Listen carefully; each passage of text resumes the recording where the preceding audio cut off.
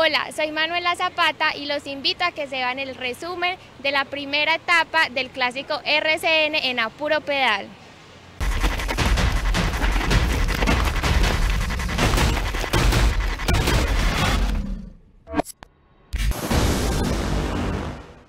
Ha iniciado el clásico RCN Duelo de Titanes con una etapa saliendo de Santa Fe y finalizando en Sopetrán en el departamento de Antioquia, 22 kilómetros de distancia. Era una jornada atípica. El lote fue fraccionado en tres grupos. Estamos viendo la partida del primer grupo con eh, ciclistas de todos los equipos, tres o cuatro de eh, cada escuadra iban conformando cada grupo y el que hiciera menos tiempo en el sitio de meta en Sopetrán marcaba el líder del clásico RCN en su primera jornada. Estamos viendo el accionar del primer grupo con los ciclistas que iban rodando y en un principio el Team Medellín al frente del grupo, Fabio Duarte, Walter Vargas, Robinson Chalapú en su momento estaban haciendo el trabajo de ese primer grupo de este clásico RCN que ha comenzado en el departamento de Antioquia. Recordemos que la segunda etapa saldrá del sector de la ciudad de Medellín, en el sector de eh, Alpujarra, dando una vuelta y finalizando en el municipio de Bello, en Antioquia.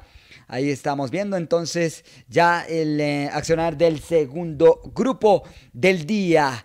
Eh, resaltemos que la temperatura fue bastante alta y también la presencia de equipos como la Liga de Ciclismo del Huila, del Tolima, el Sondar Araguat, el Belplay, que están haciendo un gran esfuerzo.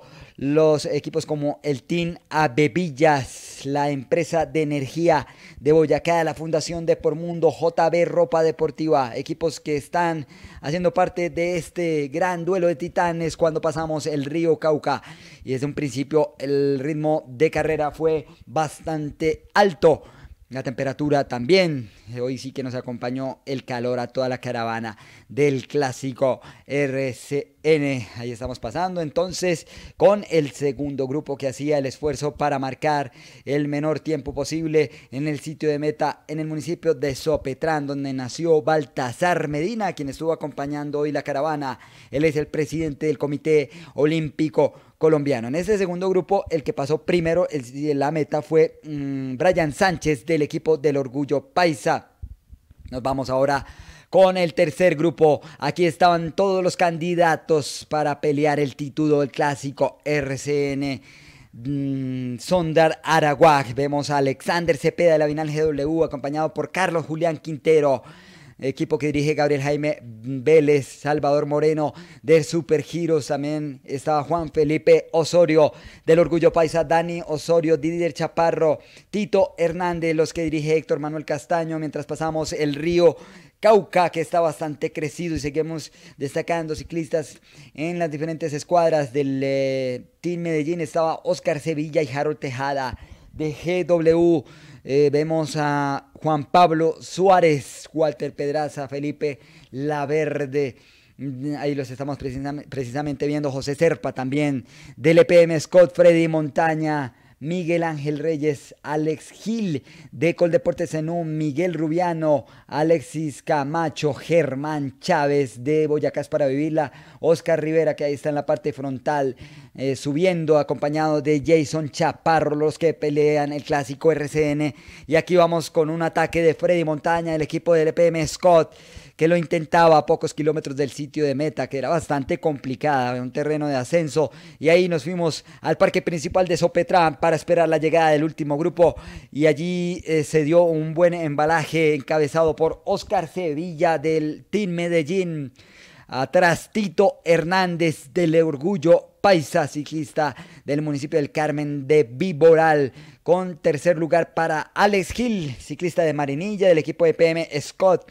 Seguían llegando los pedalistas al sitio de meta. Didier Chaparro, estaba eh, Oscar Rivera también. Eh, Carlos Julián Quintero, Germán Chávez, Dani Osorio, Harold Tejada.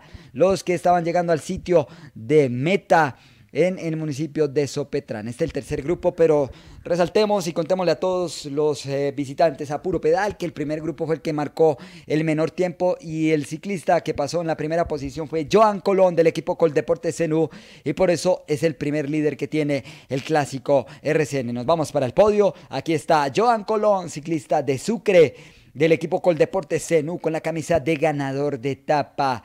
Recordemos que este clásico es patrocinado por la cerveza andina y también por Sondar Araguac. El eh, primer líder de los premios de montaña es Brian Sánchez del equipo Orgullo Paisa, ciclista de la ciudad de Medellín, que recibió un premio especial de Sondar Araguac. Ahora Cristian Ruiz del Orgullo Paisa, que es el mejor sub-23 con la camisa de café Águila Roja. Y el primer líder del clásico RSN, Joan Colón del equipo Coldeportes Senu manera muy peculiar y, me parece pues bien para brindar espectáculo. De hecho, cuando iba llegando la última eh, rama decía, no, por favor que, yo sea el nuevo líder. y luego cuando ya yo fui pues el que iba en la rama con mejor tiempo, yo pues muy contento. ¿Cuál fue la clave para hacer el mejor tiempo? Pues realmente ahí como a la expectativa, ¿no?